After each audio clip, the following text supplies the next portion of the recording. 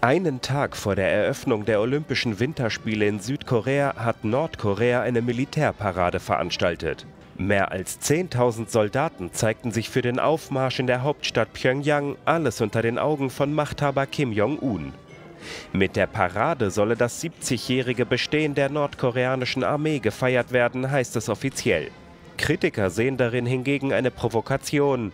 Sie widerspreche den versöhnlichen Gesten der vergangenen Wochen anlässlich der Winterspiele.